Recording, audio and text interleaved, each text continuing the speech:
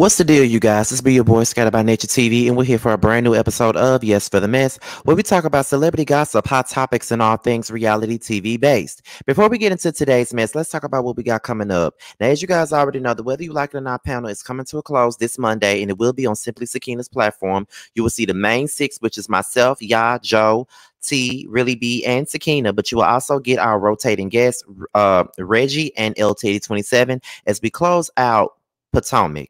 The Whether You Like It or Not panel will be going on hiatus up until Atlanta, but don't you worry because in, in the meantime, in between time, Terrence, myself, and Josiah will be back for the roaster review for SWV and Xscape show, The Queens of R&B. We will be back to review that, talk about it, roast about it, do all those things. Josiah will be having certain videos that will be dro- dropping right before the show, so make sure y'all get ready for that. All right, all righty then. So with that being said, let's get into it. Now, as you guys already know, we didn't already talked about Drew Sidora and Ralph um, Pittman already, and it was already revealed already that um, Ralph was the one who went and filed for divorce. But according to TMZ and the Neighborhood Talk, that's not so. So let's get into what we see right here. So this is the situation at hand. So if you see it, this is from the neighborhood talk, and I literally just seen this. It just came across my my page. Okay, and it says that we now have a clearer picture of how nasty and petty this divorce is going to be.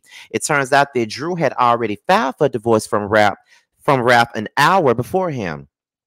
TMZ obtained her divorce petition and the Gwinnett County Court stamped it as received on February the 27th at 1 p.m. 1:10 p.m. I'm sorry. Meanwhile, Ralph's documents were stamped at 2:11 p.m. the same day.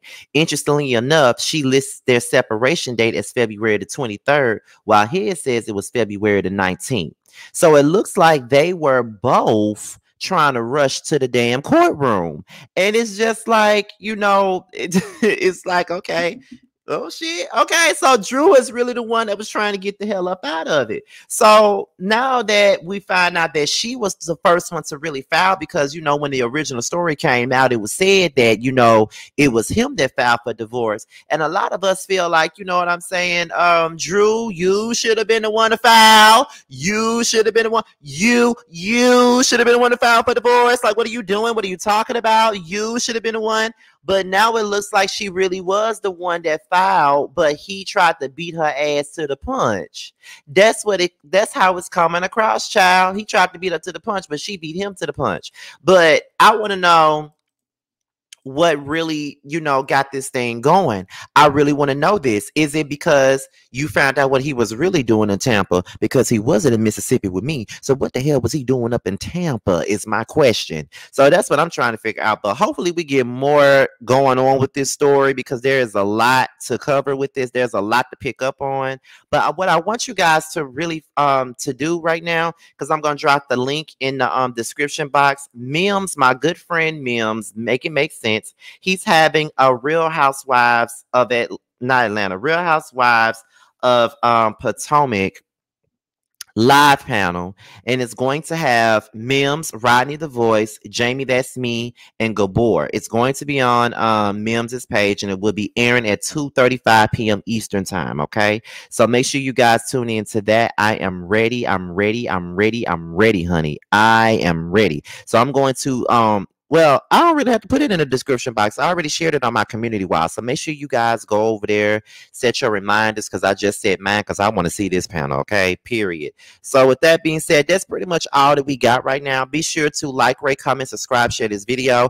Also, be sure to um Make sure you click on the notification bell so you can be notified whenever a video drops. If you want to follow me on any form of social media, my Twitter, my Instagram, and my TikTok will be down below in the description box. With that being said, you guys, your boys up out of here until my next video. I will talk to you guys later. Rest in peace, Danita, and I will holler at y'all soon. Bye.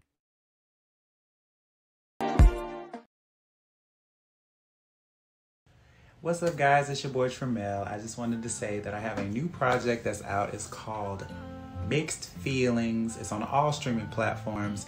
I would hope that you would go and check it out. It's a really good feel of an album.